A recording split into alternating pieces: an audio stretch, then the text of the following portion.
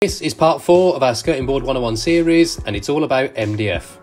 MDF is the most widely used material for skirting boards and interior mouldings because of its availability, versatility, durability and relatively low price compared with real wood options. There are many different grades of MDF and we use industrial grade moisture resistant MDF for everything, which is the best MDF for mouldings.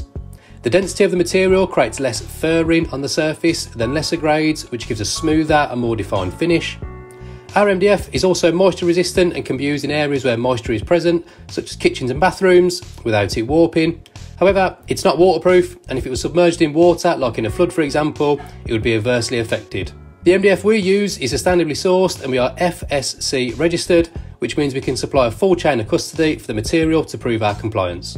If you have any questions about our MDF products, please do leave us a comment, and you can order samples of any of our products by clicking the link in our bio.